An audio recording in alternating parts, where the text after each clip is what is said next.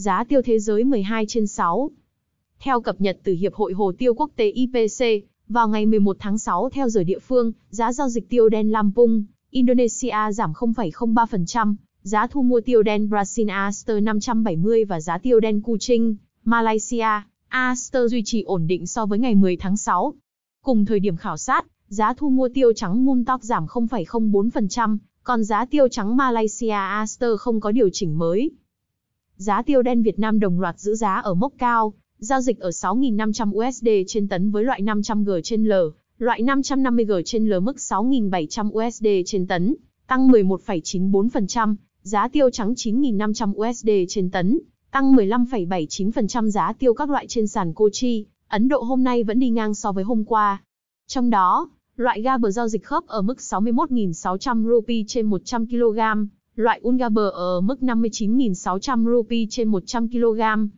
Trong tháng 4, thu hoạch đang dần kết thúc ở các khu vực phía nam cây Anataka của Ấn Độ. Còn tại Kerala và Tamil Nadu, việc thu hoạch đã hoàn tất. Sản xuất được ghi nhận là tương đối tốt ở tất cả các khu vực trong năm nay, với lượng mưa giải rác hầu như trong suốt các giai đoạn phát triển của cây trồng. Thu hoạch hồ tiêu của Việt Nam cũng đã kết thúc. Điều kiện thời tiết khô giáo, nắng nóng kể từ tháng 12 đã thuận lợi cho việc thu hoạch và phơi sấy.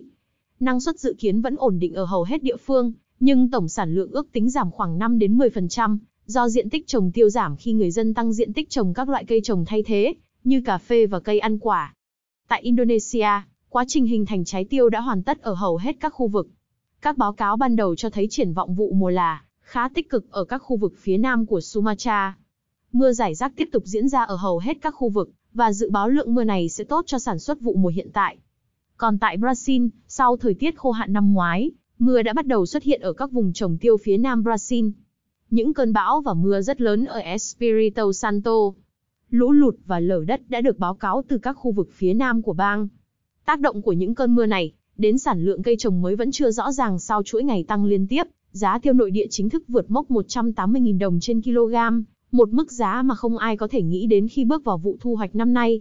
Như vậy, giá tiêu trong nước hôm nay nối dài đà tăng mạnh, ở hầu hết các địa phương trọng điểm so với hôm qua, mức tăng 7.000-9.000 đồng trên kg. Tại tất cả các địa phương, giá tiêu đều vượt ngưỡng 177.000 đồng trên kg. Giá tiêu cao nhất được ghi nhận ở mốc 180.000 đồng trên kg. Giá tiêu hôm nay ngày 12 tháng 6 năm 2024, tại khu vực Tây Nguyên và Đông Nam Bộ tăng từ 7.000, 9.000 đồng trên kg ở một số địa phương, giao dịch quanh mốc 177.400 đồng trên kg. Giá mua cao nhất tại tỉnh Đắk Nông là 180.000 đồng trên kg. Giá tiêu hôm nay giá tiêu trong nước. Giá tiêu hôm nay ngày 12 tháng 6 năm 2024, tại khu vực Tây Nguyên và Đông Nam Bộ tăng từ 7.000, 9.000 đồng trên kg ở một số địa phương, giao dịch quanh mốc 177.400 đồng trên kg. Giá mua cao nhất tại tỉnh Đắk Nông là 180.000 đồng trên kg. Theo đó, giá tiêu Đắk Lắk được thu mua ở mức 179.000 đồng trên kg, tăng 9.000 so với giá ngày hôm qua.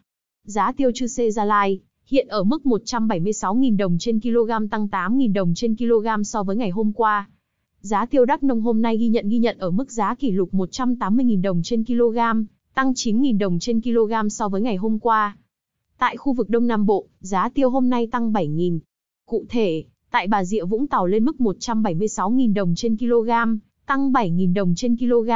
Tại Bình Phước, giá tiêu đạt mức 176.000 đồng trên kg, tăng 6.000 đồng trên kg.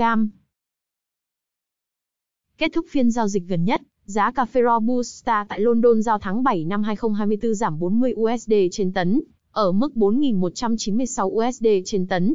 Giao tháng 9 năm 2024 giảm 29 USD trên tấn, ở mức 4.053 USD trên tấn.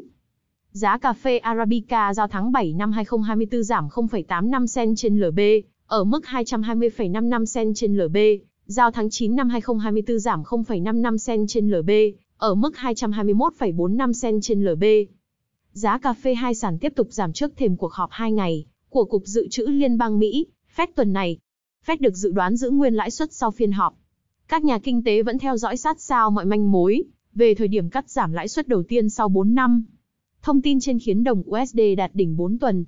Dạng sáng 12 tháng 6, trên thị trường Mỹ, chỉ số US Dollar Index, DXY đo lường biến động đồng bạc xanh với 6 đồng tiền chủ chốt, Euro, GPI, GBP, CAD, SEK, CHF tăng 0,1%, đạt mốc 105,25.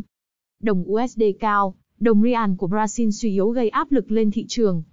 Giá cà phê còn chịu áp lực bởi tiến độ thu hoạch cà phê Brazil diễn ra nhanh hơn, điều này giúp hứa hẹn cải thiện nguồn cung cà phê đang trong tình trạng căng thẳng suốt thời gian qua, nhất là đối với Robusta. Ở trong nước, giá cà phê đang chịu thiệt khi hồ tiêu tăng rất mạnh thời gian qua. Giá tiêu trong nước đã vượt 180.000 đồng trên kg, tăng gấp đôi so với đầu năm, vượt mọi dự báo của các bên tham gia thị trường. Hồ tiêu tăng vô hình trung hút vốn của cà phê, khiến thị trường này mất đi sự sôi động. Tuy vậy, nguồn cung cà phê Robusta vẫn khan hiếm. Các đại lý tại Việt Nam ước tính sản lượng vụ mùa tới sẽ giảm 4, 7% thiệt hại do tình trạng khô hạn trong tháng 3 và tháng 4. Do vậy đà tăng trong chung và dài hạn của cà phê vẫn rất cao. Giá cà phê hôm nay 12 tháng 6 trong khoảng 120.400, 121.600 đồng trên kg. Giá cà phê tiếp tục giảm trước thềm cuộc họp 2 ngày của Fed tuần này. Đồng USD cao, đồng Real của Brazil suy yếu gây giảm lên thị trường.